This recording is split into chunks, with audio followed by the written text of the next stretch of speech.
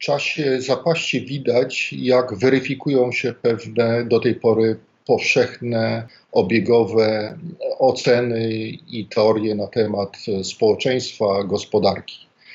Jak się okazuje, znacznie ważniejsza jest produkcja chleba niż dodatkowa produkcja pieniędzy przez rząd jak ważne jest utrzymanie działalności mikro i małych przedsiębiorców, od których zależy nie tylko to, że będziemy mogli następnego dnia kupić e, świeże pieczywo w sklepie, ale też, że los polskich rodzin jest związany z pomyślnością tych firm, bo to, to właśnie te firmy dają najwięcej miejsc pracy e, w polskiej gospodarce. Stąd umożliwienie mikro i małym firmom możliwości działalności i jak najszybszy powrót do pełnej sprawności ich działalności jest de facto polską racją stanu. I skupienie się na tych elementach powinno być e, priorytetem działań rządu.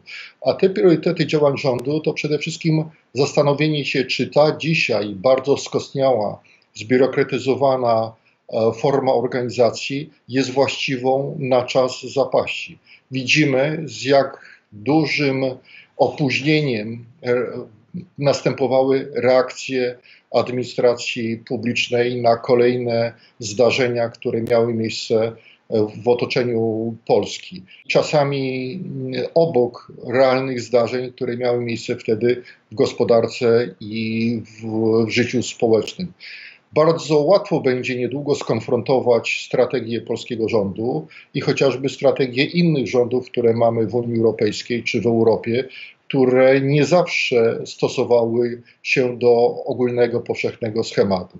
Wtedy okaże się, czy mm, lepiej było pozwolić obywatelom na e, utrzymanie pewnych aktywności życiowych, takich prostych jak chociażby e, wyjście do przysłowiowego lasu, czy powszechne zakazywanie i co było dla życia społecznego lepsze. Także za chwilę okaże się, czy lepszy jest mądry rząd, czy omnipotentne państwo, które nie potrafi sobie poradzić z utrzymaniem stanu e, bezpieczeństwa w szpitalach, za które odpowiada. Czy nie lepiej odblokować produkcję zwykłych maseczek polskich producentów medycznych, czy sprowadzać się kilka tysięcy kilometrów z obcego państwa.